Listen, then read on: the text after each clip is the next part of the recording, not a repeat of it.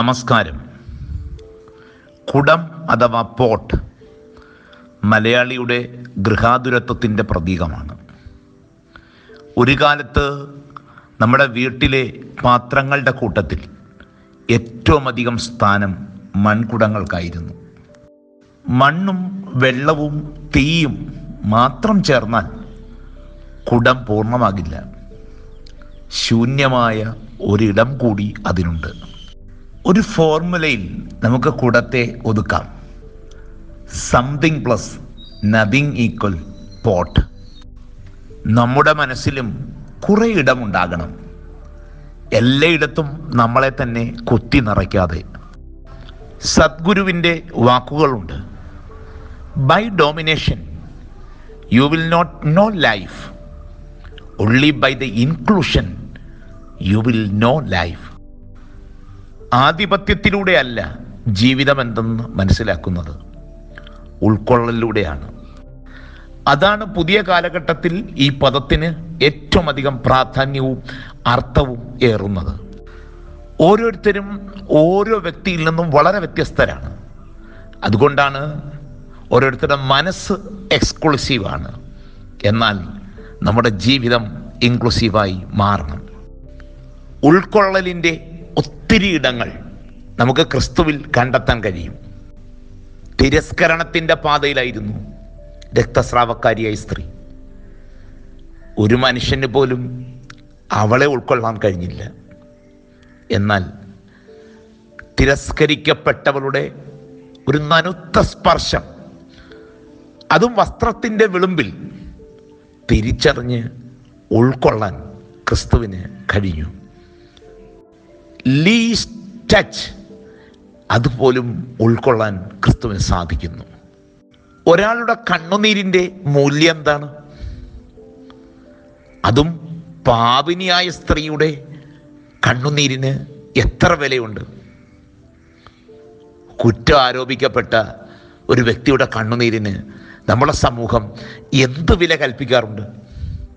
പക്ഷേ ആ കണ്ണുനീരിനെ തന്റെ ഹൃദയമാകുന്ന കുടത്തിൽ പേറുവാൻ ക്രിസ്തുവിന് സാധിക്കുന്നു. അവിടെയാണ് ക്രിസ്തു ഇൻക്ലൂസീവ് ആകുന്നത് വലിയ കൂട്ടത്തിലെ ചെറിയ ശൂന്യതയൊന്നും പുതിയ കാലം തിരിച്ചറിയത്തില്ല. എന്നാൽ നൂറാടിനിടയിൽ നിന്ന് ഒരെണ്ണം നഷ്ടപ്പെട്ടപ്പോൾ അതൊരു ശൂന്യതയാണെന്ന് ക്രിസ്തു തിരിച്ചറിയുന്നു. ആടിനെ തേടി ഇടയൻ അലയുകയാണ്. എത്ര ഇൻക്ലൂസീവായിട്ട് ആ ഇടയൻ മാറുന്നുണ്ട്.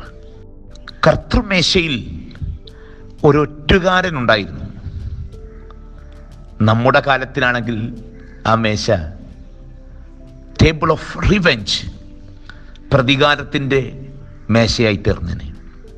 എന്നാൽ ക്രിസ്തു ചേർത്ത് പിടിക്കലിന്റെ മേശയാക്കി അതിനെ മാറ്റുകയാണ്.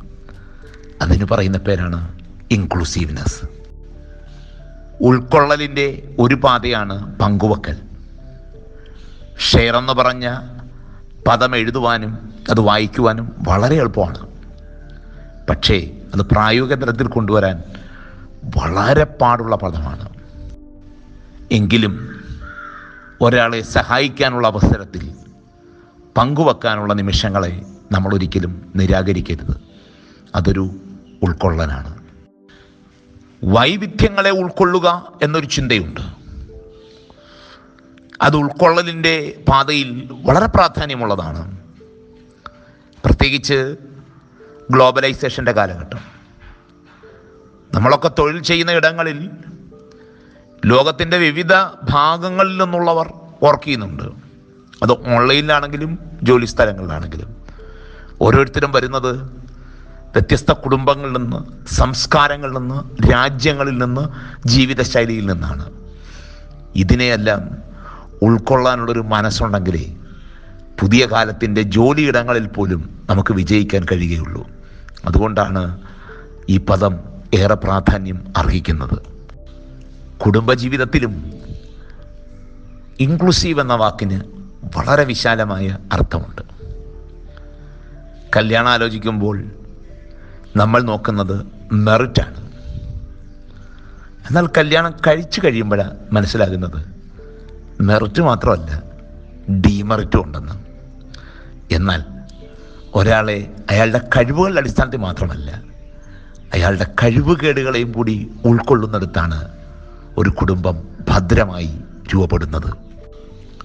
കുടത്തിന്റെ ഉള്ളിലെ ശൂന്യത പോലെ നമ്മുടെ ഉള്ളിലും ഉൾക്കൊള്ളാൻ കുറേ സ്പേസ് ഉണ്ടായിരിക്കണം.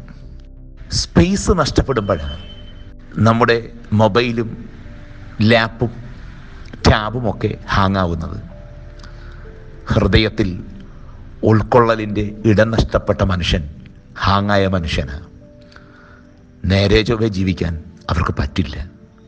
ദുഷ്ടത ഹൃദയത്തിൽ നിറച്ച് ഹാങ്ങായവരുണ്ട്.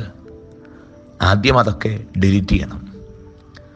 എപ്പോഴും നന്മയുള്ളൊരു മനസ്സ് നമുക്കുണ്ടാകണം. അത് ഉൾക്കൊള്ളലിന്റെ മനസ്സാണ്. നമ്മൾ ജീവിക്കുന്ന സാഹചര്യത്തിൽ കുറവ് കാണാം മെറിറ്റ് കാണാം.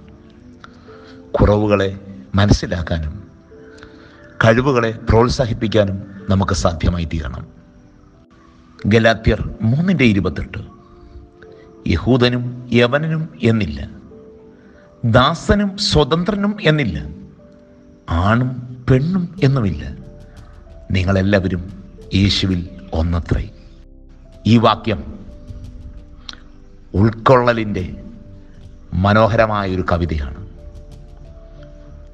ഇങ്ങനെ പരസ്പരം ഉൾക്കൊള്ളാൻ കഴിയുന്ന നന്മയുടെ ഒരു വസന്തം.